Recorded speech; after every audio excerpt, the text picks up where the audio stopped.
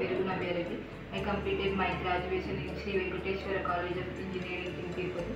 I joined Q Spiders in the month of July. Before joining Q Spiders, I have zero knowledge in software testing.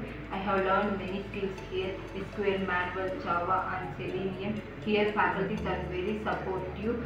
Manual is taught by Uma Shankar sir and SQL is taught by Vaibhav sir.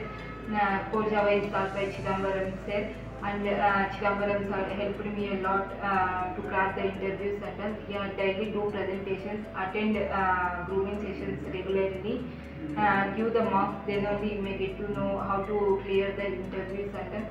Uh, all the faculties and HRs are very supportive. HR supported me a lot. Yeah, special thanks to Nandita ma'am and Srivalli ma'am. Thank you for all the use for the herbal team.